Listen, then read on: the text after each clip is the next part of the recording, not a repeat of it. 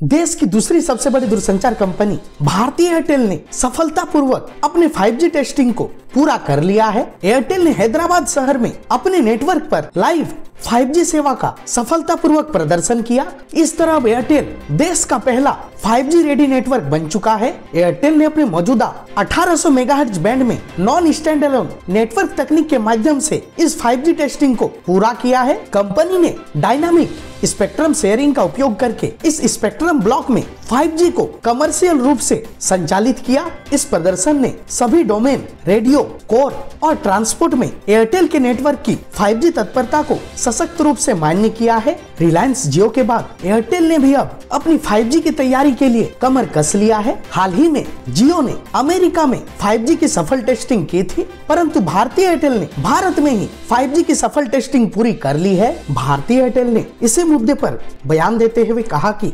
Company ने मौजूदा 4G spectrum band की मदद से मिड बैंड के बिना व्यावसायिक रूप से 5G सेवाओं को लॉन्च कर सकती है, लेकिन फिर भी कंपनी 5G स्पेक्ट्रम को रिलीज़ करने का इंतज़ार करेगी। खासकर मिड बैंड में मौजूदा 4G टेक्नोलॉजी की तुलना में एयरटेल 5G 10 गुना स्पीड 10 गुना लेटेंसी और 100 गुना कंसीलर देने में सक्षम है। एयरटेल के 5G उपयोगकर्ता महज एक सेकंड में पूरी फ़िल्म को डाउनलोड करने में सक्षम होंगे। कंपनी ने ऐलान किया है कि 5G सर्विसेज़ का पूर्ण अनुभव ग्राहकों को जल्द ही उपलब्ध होगा। जब पर्याप्त स्पेक्ट्रम उपलब्ध हो जाएगी और सरकार द्वारा मंजूरी भी मिल जाएगी। इस मुद्दे पर बयान देते हुए एयरटेल के सीएमडी और सीईओ गोपाल वित्तल ने कहा कि मुझे अपने इंजीनियरों पर बहुत गर्व है, जिन्होंने आज टेक सिटी हैदराबाद में इस अविश्वसनीय क्षमता का प्रदर्शन करने के लिए अथक प्रयास किया है। हमारे हर एक निवेश को भविष्य में प्रमाणित किया जाता है क्योंकि हैदराबाद में यह गेम चेंजिंग टेस्ट साबित हुआ है। एयरटेल इस क्षमता को प्रदर्शित करने वाला पहला ऑपरेटर होने के साथ साथ हमने फिर से दिखाया है कि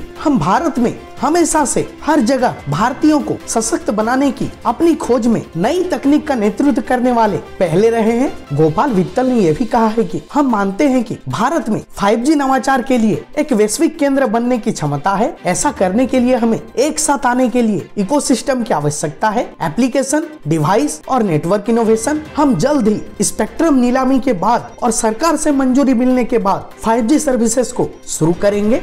बहरहाल, भारतीय एयरटेल ने सफलता पूर्वक अपनी 5G टेस्टिंग को पूरा कर लिया है। 5G की टेस्टिंग हैदराबाद शहर में की गई है। टेलीकॉम न्यूज़ की रिपोर्ट।